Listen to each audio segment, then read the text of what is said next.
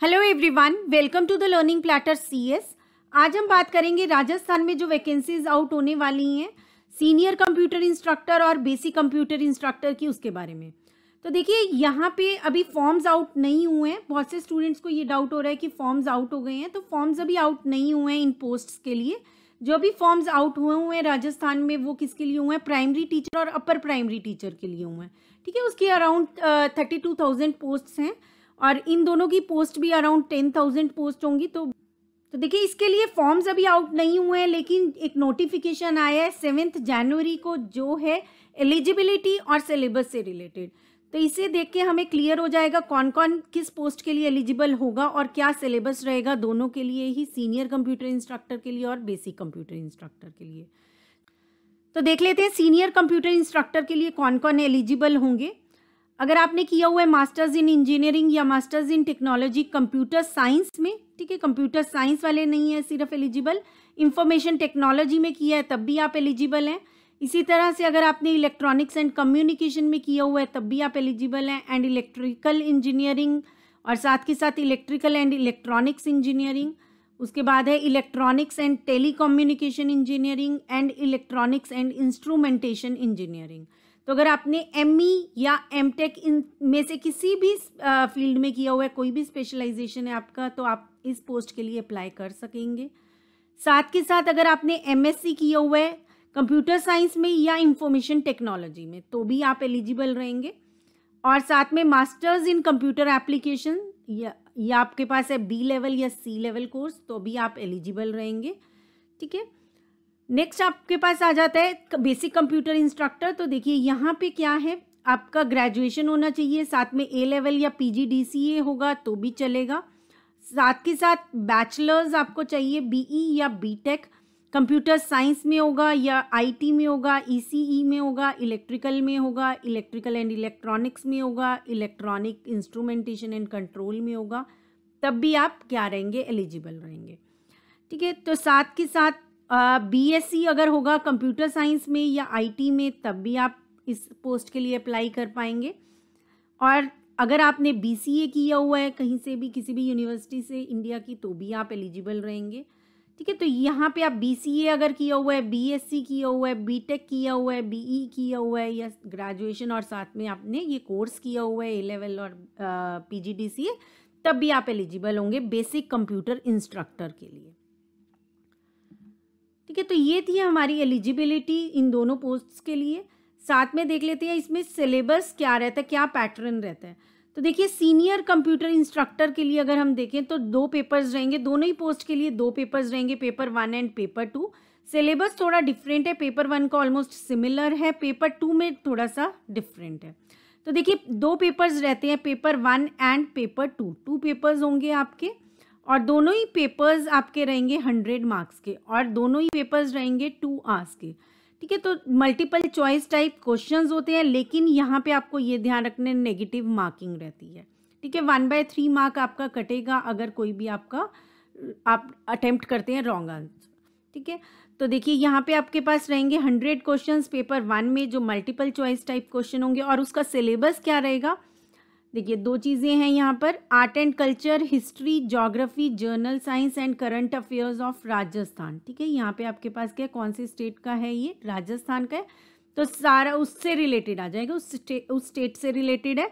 Then हमारे पास है जर्नल एबिलिटी उसमें logical reasoning and analytical reasoning and then decision making and problem solving general mental ability basic numeracy and then data interpretation तो ये सभी चीज़ें आएँगी, ये सब टॉपिक्स आएँगे। देखिए, इसमें लेवल मैंशनड है टेंथ लेवल तक के आएँगे।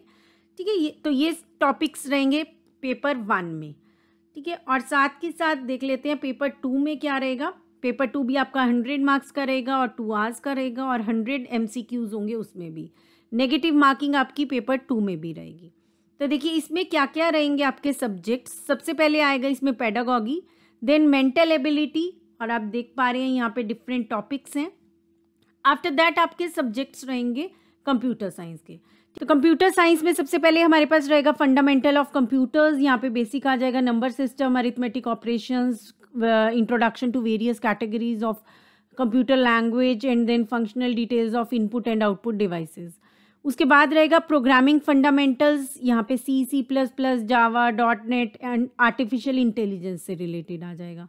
मशीन लर्निंग पाइथन ठीक है? देन हमारे पास आ जाता है object oriented programming using C plus plus and Java तो देखिए, यहाँ पे सारे ऊप्स के कॉन्सेप्ट रहेंगे। Then data structures and algorithms यहाँ पे डेटा स्ट्रक्चर्स है कंप्लीट और सॉर्टिंग एंड सर्चिंग है। उसके बाद एल्गोरिदम में आ जाएँगे different categories of algorithms and complexity रहेगी एल्गोरिदम्स की। देन हमारे पास है डिजिटल लॉजिक सिस्टम्स यहाँ पे बुलियन एक्सप्रेशंस रहेंगे K maps and logic families combinational logic design and sequential system design रहेंगे।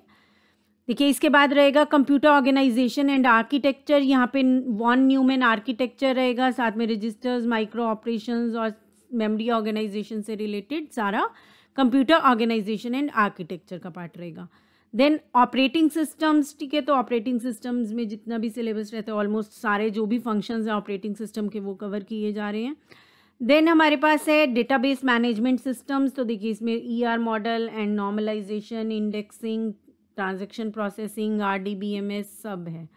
ठीक है तो कोई ऐसा टॉपिक नहीं है इसमें जो आपने ग्रेजुएशन और पोस्ट ग्रेजुएशन में स्टडी किया हो और इसमें ना दिया जा रहा हो। ठीक है, एक दो टॉपिक्स होंगे ऑटोमेटा एंड ऑल ठीक है ना? कुछ एक दो टॉपिक्स रहे होंगे जो नहीं होंगे अदरवाइज़ जितने भी सब्जेक्ट्स ग्रेजुएशन पोस्ट ग्रेजुएशन में स्टडी किए ऑलमोस्ट सारे इंक्लूड किए हुए हैं। तो देखिए सॉफ्टवेयर इंजीनियरिंग रहेगा, उसमें भी आपके पास एस डी एल सी की जितनी भी लाइफ फेजेस हैं देन टेस्टिंग से रिलेटेड देन प्रोजेक्ट मैनेजमेंट उसके बाद डेटा एंड कंप्यूटर नेटवर्क सारा नेटवर्किंग से रिलेटेड आ जाएगा। उसके बाद देखिए नेटवर्क सिक्योरिटी इसमें भी सारा एडवांस्ड दिया हुआ है। तो यहाँ पे सारा D E S A E S R S A सभी एल्गोरिदम्स पूछे हुए हैं सिमेट्रिक एंड सिमेट्रिक एल्गोरिदम्स और साथ में फायर वॉल्स वायरस सब चीज़ें इंक्लूडेड हैं। नेक्स्ट है बेसिक्स ऑफ़ कम्युनिकेशन तो यहाँ पे आपका जो नेटवर्किंग में कम्युनिकेशन के बेसिक्स पढ़ते हैं तो वो सब चीज़ें भी आ जाएँगी, ठीक है ना? तो ये पूरा ये आपका नेटवर्क से रिलेटेड हो जाएँगे ये थ्री यूनिट्स ठीक है ना? जो ये थ्री यूनिट्स यहाँ पे दिए हुए हैं तो देखिए ये तीनों ही यूनिट्स नेटवर्क से रिलेटेड हो गए। देन हमारे पास है वेब डेवलपमेंट यहाँ पे H T M L C S S P H P JavaScript X M L सब चीज़ें आ जाएँगी वेब डेवलपमेंट में। तो ये ये पेपर टू का सिलेबस रहेगा सीनियर कंप्यूटर इंस्ट्रक्टर के लिए। ठीक है तो जो पेपर टू है बेसिक कंप्यूटर इंस्ट्रक्टर के लिए उसमें कंपैरेटिवली सिलेबस कम है। तो देखिए पेपर वन में ये बेसिक कंप्यूटर इंस्ट्रक्टर के लिए scheme and syllabus paper one के लिए सिमिलर ही रहेगा हंड्रेड क्वेश्चन हैं टू आवर्स के हैं और साथ के साथ मल्टीपल चॉइस टाइप क्वेश्चन रहेंगे ये सारे। और देखिए पेपर वन का जो सिलेबस है वो क्या है? सिमिलर है। ठीक है, जो भी आपका था उसमें सीनियर कंप्यूटर इंस्ट्रक्टर में, वही बेसिक कंप्यूटर इंस्ट्रक्टर में है, ठीक है, बिल्कुल सिलेबस क्या है सेम है, ठीक है डिफरेंस कहाँ आएगा पेपर टू में आएगा।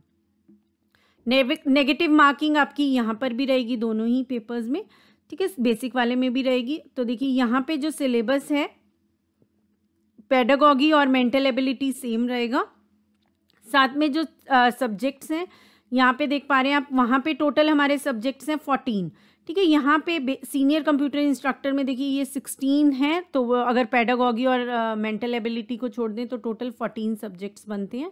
लेकिन यहाँ पे सब्जेक्ट्स भी अगर हम देखें तो थोड़ा कम है। तो देखो यहाँ पे आपके पास है computer fundamentals of computer then data processing आ गया यहाँ पे आपके पास M S Word Excel PowerPoint and Access आ गया यहाँ पे। साथ में प्रोग्रामिंग फंडामेंटल्स सेम रहेगा। डेटा स्ट्रक्चर्स एंड एल्गोरिदम्स भी वही सेम रहेगा, बस एल्गोरिदम्स नहीं आएगा यहाँ पे। ठीक है, यहाँ पे एल्गोरिदम्स अलग से नहीं दिया, जिसमें डिफरेंट कैटेगरीज ऑफ़ एल्गोरिदम्स हम स्टडी करते हैं। देन हमारे पास आ गया computer organisation and operating system ठीक है, यहाँ पे कंप्यूटर ऑर्गेनाइजेशन और ऑपरेटिंग सिस्टम इन्होंने मर्ज कर दिया। वहाँ पे अलग अलग था, साथ में डिजिटल वाला पार्ट अलग था और कंप्यूटर ऑर्गेनाइजेशन का अलग था। देन हमारे पास है computer communication and network concepts तो यहाँ पे बेसिक नेटवर्क कॉन्सेप्ट्स दिए गए हैं। एंड देन नेटवर्क सिक्योरिटी में देखिए, यहाँ पे वायरस एंड फायरवॉल वो सब चीज़ें हैं बेसिक चीज़ें हैं। ठीक है, वो सब एल्गोरिदम्स नहीं है जो हम पढ़ते हैं। A symmetric and symmetric algorithms वो सब एल्गोरिदम्स यहाँ नहीं पूछे गए हैं। Then D B M S है। ठीक है, यहाँ पे no SQL and R D B M S और ओवरव्यू वो सब चीज़ें दी हुई हैं। And then system analysis and design ठीक है तो ये वाला टॉपिक आपका उसमें नहीं है यहाँ पे इंक्लूड किया हुआ है system analysis and design then internet of things and its application ठीक है तो ये भी ट्रेंडिंग टॉपिक है इंटरनेट ऑफ़ थिंग्स ठीक ये यहाँ पे दिया गया है उसमें नहीं दिया। ठीक है वहाँ पे वेब डेवलपमेंट दिया है यहाँ पे इंटरनेट ऑफ़ थिंग्स और उसकी एप्लीकेशंस जिसमें X M L H T M L introduction to e commerce भी इंक्लूड किया हुआ है। ठीक है तो क्वेश्चन लगभग आप लगा लीजिए कि, कि अगर एक टॉपिक छोटा सा भी मेंशन कर दिया तो उससे भी रिलेटेड क्वेश्चन वो पूछ सकते हैं। ठीक है तो आपको अकॉर्डिंगली प्रिपेयर करना है एग्ज़ाम के लिए। ये सिलेबस दे दिया गया है डिटेल्ड ठीक है, कई बार होता है हमारे पास एग्ज़ाम के लिए सिलेबस नहीं होता। ठीक है तो रैंडमली कुछ भी स्टडी कर रहे होते हैं तो इन्होंने फॉर्म्स आउट करने से पहले ही सिलेबस आउट कर दिया है। तो आप लोग उसके अकॉर्डिंग प्रिपेयर कर सकते हैं स्टार्ट कर सकते हैं अपनी प्रिपरेशंस ठीक है तो ये आपका सिलेबस रहेगा और साथ के साथ एलिजिबिलिटी चेक कर ली हमने। So that's all for this video. Thank you so much.